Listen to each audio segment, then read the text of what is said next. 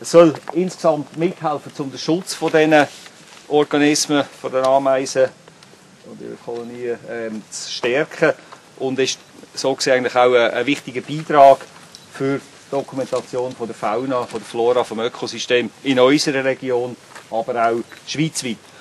Also Ameisenschutz ist eigentlich ein langes Thema, nicht so systematisch, wie wir jetzt eine Grundlage haben und wo wir vielleicht eben auch die Verantwortung haben, dass die systematische Grundlage nicht verloren geht.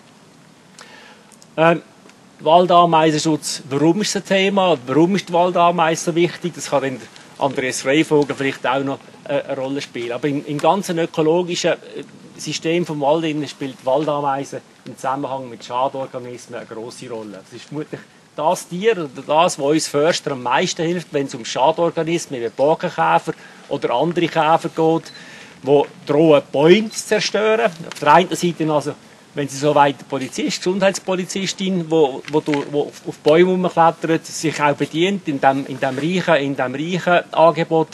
Auf der anderen Seite halt eben auch selber am Holz, äh, ein Teil vom Zersetzungsprozess in gewissen Ort ähm, mithilft und damit auch im Grunde die ganzen Kreisläufe vom Leben erhalten, die im Wald eine große Rolle spielen. Also wenn das Inventar entsteht, muss man genau wissen, wie es entsteht und von dem her ist die Aussage Isabelle eben, wir können sagen, einzigartig in der Art und Weise systematisch Flächen absuchen, mit einem klaren Auftrag, mit einer klaren Methodik, nicht nur nachher zu erfassen, sondern eben auch das Gebiet abzusuchen. Aber auch die gesamte Waldfläche absuchen ist äh, immer noch ein ambitiöses Ziel. Und das hat man eigentlich wirklich nur unter Einbezug von möglichst vielen Akteuren geschafft. Eben, es haben 50 Freiwillige mitgeholfen, zu kartieren und auch alle Vorschläge vom Kanton haben mitgeholfen. Das ist sehr zentral für den Erfolg dieser Kartierung. Aber man kann sagen, dass wir dann mit vier Feldkartierern ähm, alle Standorte mit ganz genauen GPS-Geräten kartiert haben und auch von jedem Nest eine Ameisenprobe zur Bestimmung von Art entnommen haben. Und die Artbestimmung ist von Experten von der Uni Lausanne durchgeführt worden.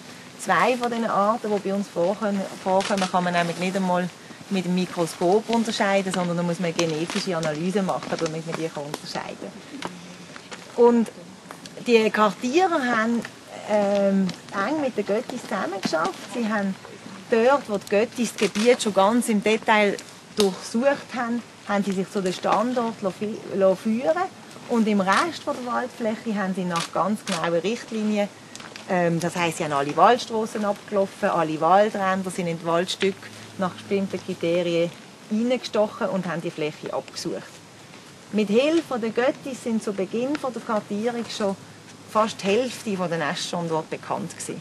Und auch über ein Viertel von der Fläche ist durch die Göttis bereits abgesucht. Also das war ein großer Beitrag, dass man das hätte können, ähm, ich sage jetzt mal annähernd flächendeckend, flächendeckend ist ein großes Wort, ähm, hat können realisieren Von dem her ist, wo die Gelegenheit kam, an so einem Projekt mitzumachen, habe ich mir das überlegt.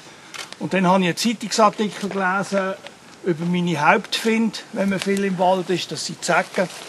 Die äh, haben mich wahnsinnig gern und ich habe gelesen, dass Ameisen helfen, Zecken einschränken so pauschal habe ich gemerkt, darf man es nicht sagen. Auch, auch hier, wenn man in die Ameisen rausgeht, kann man mit einem Zack heimkommen oder mit zwei. Also von dem her, sie fressen, das hat man nachgewiesen, sie fressen auch Zecken. Und in der Nähe von Ameisenhäufen hat es weniger Zecken, als wenn es keine gibt. Ich glaube, das Inventar unterscheidet sich aus einem Hauptgrund davon. Erstens, oder aus ein paar Gründen, es ist ein interessantes Tier. Wenn ich zum Beispiel eine Führung habe mit einer Schulklasse, das ist das Tier, das Interessanteste ist, was man auch sieht. Man kann über die Wildsau kann man Sachen zeigen, man kann über die Füchse und Dachsen Sachen zeigen, aber äh, wenn wir so einen Ameisenhaufen sagen wir bei uns und wir sagen eben ohne Nester, wir sind noch nicht ganz so weit. Wenn man so einen zeigt und eben der Schüler kann erklären, dass die gehen, gehen wer mit Hanker und Untergehen heizen mit, dem, mit ihrem eigenen Körper, wer mit, das ist etwas, was der Schüler bleibt. Also ist ein Tier, das man gut verkaufen kann in der Öffentlichkeit. Von dem her ist auch das Inventar interessant. Und vor allem ist das Inventar interessant, weil es lokal, sagen wir mal, die Ameisengötter sind lokal abgestützt. Also die haben auch vielleicht ein bisschen mehr Herzblut hinter der Sache, als wenn das irgendwie hier von oben diktiert wird, also eine Inventaraufnahme.